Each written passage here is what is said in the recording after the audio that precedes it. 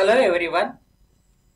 Today we will discuss about preparation of buffers and pH measurement and determine the pK of weak acid that is citric acid.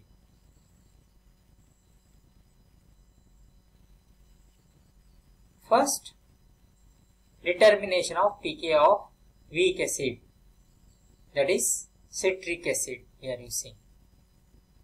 Coming to the theory part pKa means negative logarithm of dissociation constant that is Ka. So weak acids will dissociate as Ha in presence of water, H3O hydronium ion and A minus. So weak acids are not completely dissociated. So there is a equilibrium. So then as per the law of mass action K dissociation is equal to concentration of hydronium ion, concentration of A minus divided by concentration of acid. Okay, so here we are not considering the water because water is not as, as such concentration, it won't affect the rate of the reaction. Then pK is equal to negative logarithm of dissociation constant where P means negative log. The acidity of a compound can be known by its pK value. Lesser the value of pKa, stronger is the acid and greater the value of pK is the weaker is the acid. So coming to the principle part, the pK of weak acid can be determined by using its buffers. That is, here we are using citric acid and sodium citrate. So for that we have to prepare a set of buffers and measure the pH of the buffer. So coming to the procedure, first we have to prepare citric acid that is 0.25 molar. So for that you have to dissolve 5.26 gram of citric acid monohydrate in 100 ml of volumetric flask and dilute to 100 ml with dis distilled water. For calculation of 0.25 molar, so you require molecular weight that is 210.12 Similarly, prepare stock solution of sodium citrate 0.25 molar. So for that you have to dissolve 7.35 gram of sodium citrate in 100 ml of distilled water and make up the volume to 100 ml. So molecular weight is 294.10.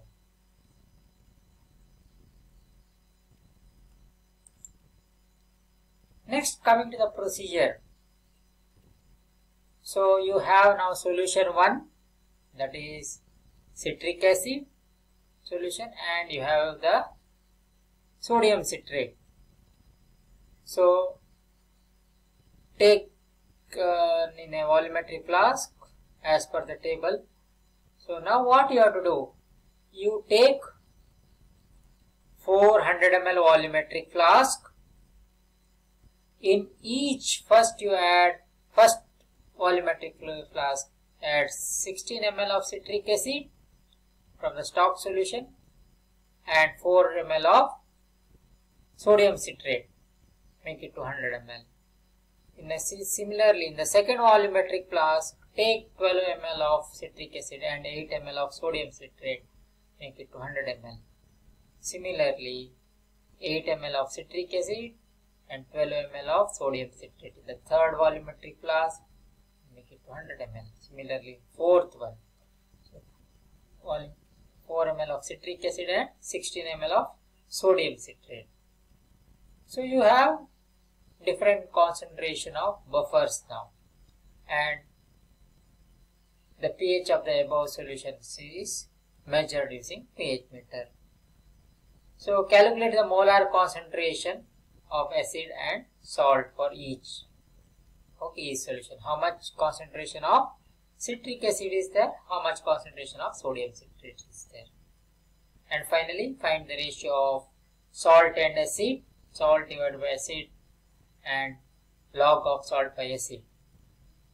Finally, plot graph of log salt by acid versus on x-axis and pH on y-axis that is the measured pH. Then pK is the intercept value. So when pH becomes equal to pKa, okay that time the pH is log of salt by acid is 0 or concentration of salt and acid becomes equal log 1 so then it is a log 1 is 0 that time pH is equal to pK as per Henderson Hasselbalch equation. So pK of the given acid is 4.9 when we conducted the experiment. So here is the table whatever I explained. So you can see the table. That is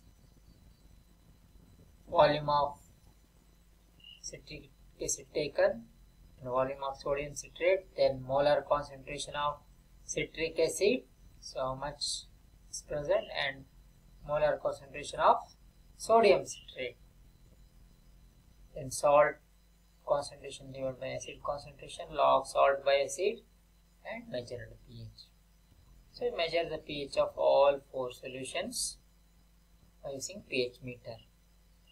Then you plot measured pH on y-axis and log of salt by acid on y-axis. Then draw the plot.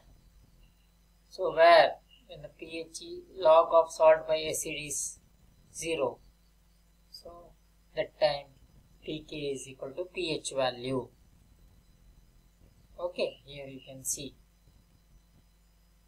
so here pk you got is 4.9 so this is how we are determining the pk of weak acid. So this you can report. So next coming to preparation of buffers and pH measurement.